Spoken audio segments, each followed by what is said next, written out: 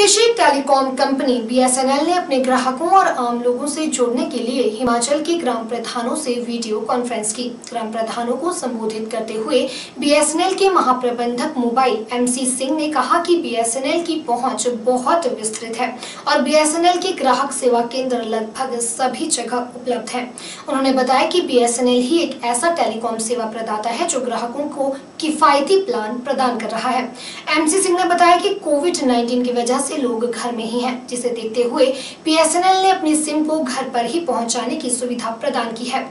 और बीएसएनएल के योद्धा इस मुश्किल समय में भी सेवा को बनाए रखने के लिए निरंतर प्रयासरत हैं। उन्होंने कहा कि बीएसएनएल सभी ग्राम प्रधानों को व्हाट्सएप के माध्यम से समय समय पर बीएसएनएल के टैरिफ प्लान, सेवाओं एवं जानकारी प्रदान करेगा। उन्होंने कहा कि भारत सरकार ने ग्राम पंचायत को आत्मनिर्भर बनाने के लिए काफ़ी योजनाएँ आरंभ की है।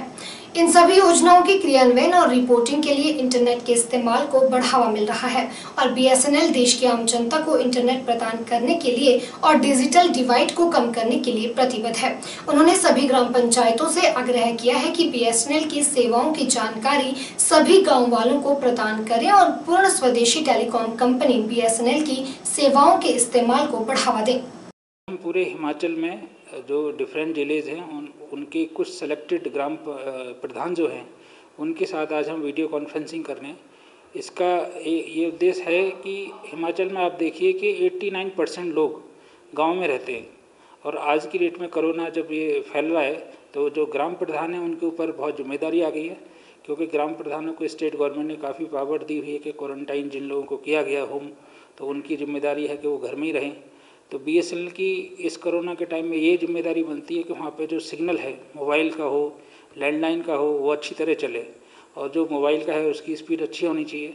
क्योंकि कम्युनिकेशन रहेगा तो ये इनको गाँव वालों को, बाकी जो कोरोना से पीड़ित हैं, या जो मैनेज कर रहे हैं, या डॉक्टर्स हैं, या स्टेट गवर्नमेंट है, उनको ईजी रहेगा।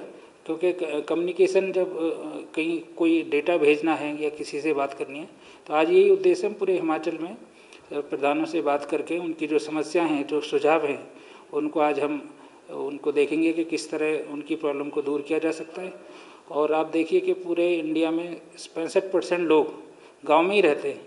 तो हमें गाँव का विकास करना बहुत ज़रूरी है और जो हमारा पंचायत लेवल होता है, वहाँ तक अगर बात पहुँच जाए, उनकी बात हम तक पहुँच जाए, हमारी बात उन तक पहुँच जाए तो ये कनेक्टिविटी के लिए बहुत अच्छा रहेगा।